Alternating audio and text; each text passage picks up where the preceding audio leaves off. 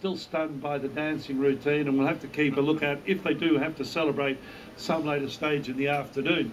But uh, this should be a cracker of a race anyway. This is round two of the women's standard boat senior Cs. Now, from memory, it was a pretty good race in the first round. So um, I'm looking forward to this, and uh, looks as though I have the pleasure of commentating as Steve has taken a well-earned uh, break.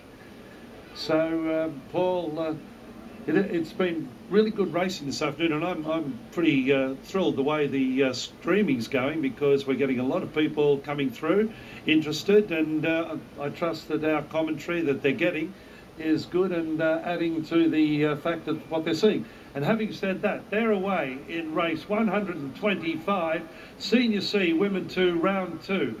Now, in lane one, Gorging Dragons, lane two, Golden Dragons, lane three, Pickering Dragon Boat Club, lane four, Dragon Max, lane five, FLCC Titanium, and False Creek Racing Canoe Club out in lane six. Now, by the time you say all that, you've just about got the race into the uh, main part of the uh, course, and indeed they are. Now, in lane three, they look as though they're doing the better of it, picking Pickering uh, over in lane six, False Creek, will have been in the lead many a time in these proceedings. But lane five, SLC uh, Titanium. Now the uh, winner's going to be out of three, uh, three, five, and six. So we'll just have a quick look at that. It looks as though three's going to get there. Pickering Dragon Boat Club will get it.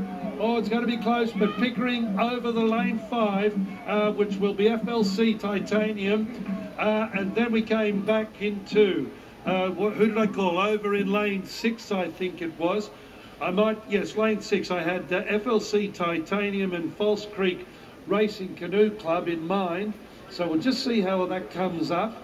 Um, coming up on the screen, as I called, Pickering Dragon Boat Club. Now here it is, FLC C Titanium uh, in lane five, coming up in second position, and that's right, False Creek Racing Canoe Club from Canada in lane six, bringing up third.